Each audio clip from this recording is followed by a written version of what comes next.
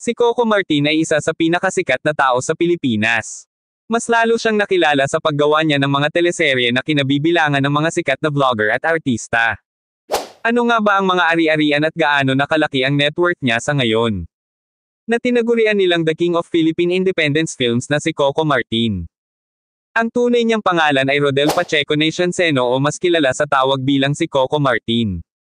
Siya ay isang Filipino actor, film director, model, film producer at screenwriter. Ipinanganak siya noong November 1, 1981 sa Santa Cruz, Manila at sa ngayon ay 42 years old na siya.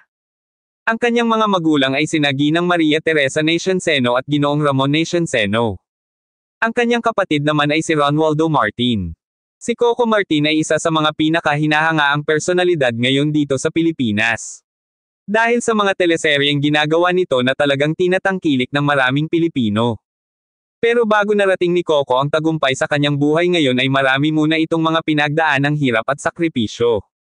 Ayon kay Coco bata pa lamang siya ay hiwalay na ang kanyang mga magulang.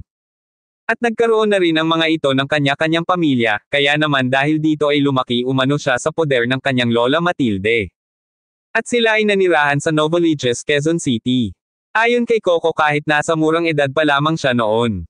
Natuto na siyang magbanat ng buto at natutong magdiskarte para makatulong siya sa kanyang lola. Upang may pangtusto sa kanilang pang-araw-araw na mga gastusin at bilihin.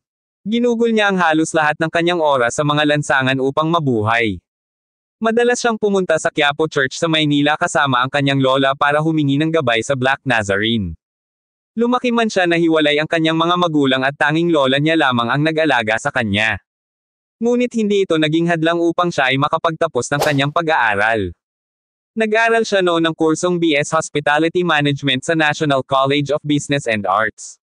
Napinalad na makapasok siya sa top 30 ng Star Circle Batch 9 sa ABS-CBN. Pero ganun pa man kahit may pagkakataon na siya na magsimula. At matupad ang kanyang pangarap na maging artista ay pinagpaliban niya muna ito. Ayon kasi sa kanya ay gusto niya na muna natuparin ang kahilingan ng kanyang lola Matilde na makapagtapos siya ng pag-aaral. Subalit ayon sa kanya nang makagraduate siya ng kolehiyo ay nahirapan siya maghanap ng trabaho. Kaya naman dahil dito ay naranasan niya umano ang iba't ibang klase ng trabaho.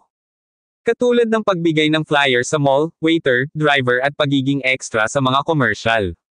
Ito ay para ma-provide ang kanilang pang-araw-araw na mga pangangailangan. Nahirapan man makahanap ng maayos na trabaho si Coco. Pero ayon sa kanya ay muli siyang nabigyan ng pagkakataon ng makapasok sa telebisyon. At maging extra sa comedy show noon ni Joey De Leon na Teka Muna sa TV5. Hanggang sa nakilala niya ang direktor na si Iman Esterco. Na nagsimula mag-manage sa kanya at ipinasok siya sa larangan ng paggawa ng mga indie films. Dahil na rin dito ay nagkaroon na siya ng partisipasyon sa ilang mga pelikula. Hanggang sa naging bida na siya sa unang pagkakataon sa indie films na ang pamagat ay masahista na may malaswa at masilang tema. Pero ganun pa man ayon kay Coco kahit sa edad pa lamang niya na 23 years old. Ay tumanggap na siya ng iba't ibang mga parangal dito sa Pilipinas, at pati na rin sa iba't ibang film festival sa ibang bansa. Isa na nga dito ang film festival sa bansang Canada. Ngunit ayon sa kanya nang makarating na siya doon ay hindi na siya bumalik ng Pilipinas kahit tourist visa lamang ang mayroon siya at hindi working visa. Dahil ayon sa kanya ay plano niya din talaga ang makapagtrabaho siya sa ibang bansa. Base sa kanya ay naranasan niya muli dito ang iba't ibang klase ng mga trabaho. Ang ilan nga sa mga naging trabaho niya doon ay ang pagiging hardenero, tagaluto, janitor at pati na rin ang pangunguha at pagbebenta ng mga bote. Pero ayon sa kanya nang malaman niya sa embassy na malabo siya mabigyan ng working visa.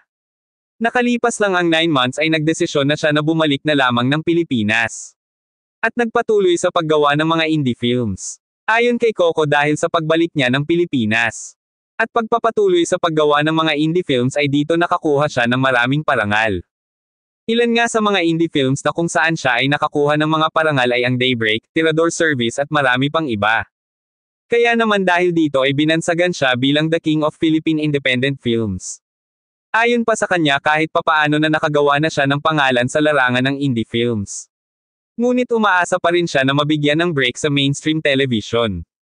Dahil sa mga pagsisikap at hindi niya pagsuko, si Coco ay nabigyan ng pagkakataon na maging bahagi ng isang serye na ang pamagat ay Daisy 7 sa GMA Network na pinagbibidahan ng sex bomb dancers.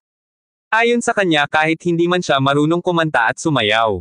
Pero dahil sa kanyang determinasyon na magtagumpay sa kanyang karera para sa pag-aartista, ay nabigyan muli siya ng pagkakataon matapos niyang sumali sa male group na The Sad.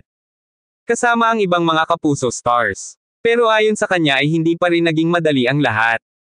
Kahit nabigyan na siya ng pagkakataon na mapabilang sa ilang mga teleserye sa showbiz. Nahirapan siya na makakuha ng role sa mga teleserye sa ABS-CBN. Dahil na rin umano sa kanyang imahe ng bold star. Dahil sa ilang mga nagawa nito na indie films. Pero hindi ito naging hadlang upang bumitaw siya bagkus ay nagpatuloy pa rin siya sa kanyang pangarap na maging isang sikat na artista balang araw. Hanggang sa nagkaroon muli ng pagkakataon matapos niyang makuha bilang kontrabida. Sa teleseryeng tayong dalawa na pinagbibidahan nila Kim Chu, Jake Cuenca at Gerald Anderson. Dahil sa kanyang determinasyon at pagsisikap sa kanyang mga role ay nakitaan ng potensyal at husay si Coco Martin. Kaya naman dahil dito ay nagsimula na mas maging busy si Coco dahil sa kanyang sunod-sunod na mga endorsement at mga proyekto sa showbiz. Gumanap na si Coco bilang bida sa iba't ibang mga teleserye gaya ng Ikaw Lamang, Walang Hanggang, Juan de la Cruz, FPJ ang Probinsyano at Batang Quiapo na talagang sinuportahan at sinubaybayan sa primetime ng maraming Pilipino. Ayon sa kanya mula sa maliit na kinikita niya noon sa paggawa ng mga indie films. Ngayon ay naging milyon na umano ang kanyang kinikita. Kaya naman dahil dito ay nakapagpagawa na siya ng maayos at malaking bahay na matatagpuan sa Quezon City. Ayon kay Coco ay bumili siya ng lupa na may lawak na 2,000 square meters na matatagpuan din sa Casa Melon Neapolitan Subdivision sa Quezon City. Pinatayuan niya ito ng tropical-inspired na bahay. Bukod sa napakalaki at napakalawak ng kanyang bahay na ito, Puno rin ito ng mga mamahaling gamit na bunga ng kanyang mga pagsisikap at pagpupursigi na maabot ang kanyang mga pangarap sa buhay. Ayon sa kanya halos tatlong taon na pinagtrabahuhan at pinag-ipunan bago tuluyang natapos ang malaluxury resort na kanyang bahay. Ayon sa kanya ay tinatayang nasa 120 milyon ang nagastos niya sa buong bahay na ito. Hindi man siya lumaki kasama ang kanyang mga magulang, ngunit hindi niya pa rin nakakalimutan na tumulong at pagtanaw ng utang na loob sa mga ito. Kaya naman dahil sa mga natatamasa na mga tagumpay ni Coco, ay pinagawan niya rin ng magkahiwalay na bahay ang kanyang ina at ama sa iisang compound lamang kung saan sila ay magkakatabi lang din. Ayon kay Coco ay naging bida rin siya sa ilang mga pelikula sa Metro Manila Film Festival na sobrang sumikat at tinangkilik ng masa. Ilan nga sa mga pelikulang ito ay ang Panday noong 2017, Jack M. Popoy The Police Credibles noong 2018 at Triple Trouble Huli Ka Balbon noong 2019. Karamihan din sa mga pelikula ni Coco Martin na kumita ng milyon ay sa mismo ang direktor at producer. Dahil sa kanyang determinasyon at pagsusumikap sa buhay upang makamit ang kanyang mga pangarap siya ay nagtagumpay. Dahil din sa kanyang natatamasa ng kasikatan sa larangan ng showbiz. Kasama na rin dito ang pagkakaroon niya ng mga magaganda at mamahaling mga sasakyan at mga motorsiklo. Isa nga sa kanyang sasakyan ay ang Toyota FJ Cruiser. Ito ay isang mid-size na off-hand SUV pang militar ang kulay at style nito. At pinapalitan pa niya ng mas matibay at malaki na mga gulong ayon kay Coco nagkakahalaga ito ng 2.1 million pesos. Ang sunod naman ay ang kanyang Jeep Wrangler ito ay isa rin mid-size off-hand SUV. Pang Call of Duty naman ang style nito at mayroong 2 inches LED at pinalitan niya rin ng malalaking gulong. Ayon sa kanya ang buong presyo nito kasama na ang bago nitong forma ay aabot ang halaga sa 3.7 million pesos. Ang kanyang Toyota Land Cruiser na isang full-size SUV at nabili niya ito sa halagang 4.9 milyong pesos. Ang 2016 Brabus Mercedes G63 ay isang SUV napakalupit at napakaangas din ang disenyo at style nito. Ayon kay Coco nabili niya ito sa halagang 12 milyon pesos. Bukod pa sa kanyang koleksyon ng mga SUV car ay mayroon pa siya ng mga sports car. Ilan nga sa mga ito ay ang kanyang Ford Mustang nabili niya ito sa halagang 3.6 milyon pesos. Mayroon din sa na Dodge Challenger Hellcat na bili niya naman ito sa halagang 6.3 million pesos. Ang kanyang 1967 Shelby Mustang GT500 na isang classic American muscle cars. Nabili niya sa halagang 11 milyong pesos. Mayroon din siya na Inca Sentry Armored na personal carrier car ang sasakyan na ito ay denisenyo para sa pangmilitar at mga kapulisan.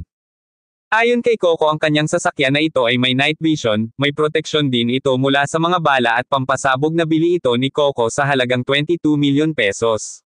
Ayon pa sa kanya bukod sa mga mamahaling sasakyan na kanyang pagmamayari, Mayroon din siyang mahigit 11 big bike ilan nga sa mga ito ay ang kanyang Ducati Monster 797. Sinabi niya na ito ang kanyang unang big bike na regalo umano sa kanya ni Don Zulueta. Ayon kay Coco nagkakahalaga daw ito ng 800k. Mayroon din siya na Royal Enfield Classic 500 Squadron Blue na bili niya naman ito sa halagang 330k. Ang kanyang Honda Rebel 500 Retro Cruiser ay nabili niya sa halagang 375,000. Mayroon din siya ng Honda XADV na bili niya ito sa halagang 800,000.